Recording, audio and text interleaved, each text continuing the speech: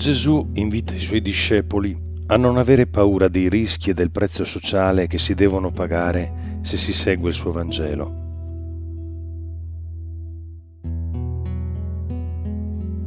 Quando Matteo scrive questa pagina, ha davanti le sofferenze di tanti cristiani perseguitati per non aver aderito al culto dell'imperatore Domiziano.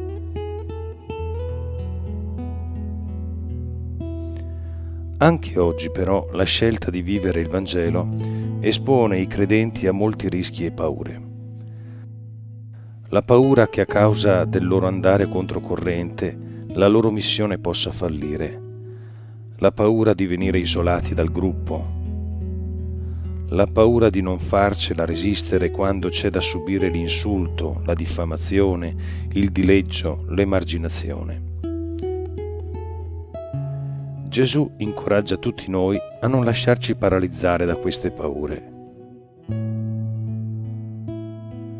Tali prove infatti sono passeggere e non possono vanificare la realizzazione del suo progetto di salvezza. Ognuno di noi ha un valore inestimabile agli occhi di Dio Padre, che conosce perfino il numero dei nostri capelli.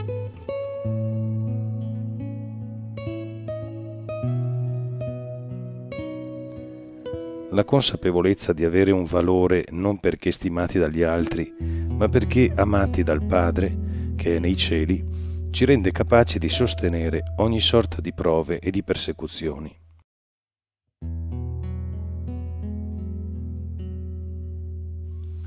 Questa consapevolezza va costantemente nutrita e consolidata nella preghiera fiduciosa, nell'ascolto accorto della parola di Dio e in scelte concrete di vita spesa bene, come quella di Gesù, per manifestare e diffondere l'amore del Padre per la salvezza di tutti.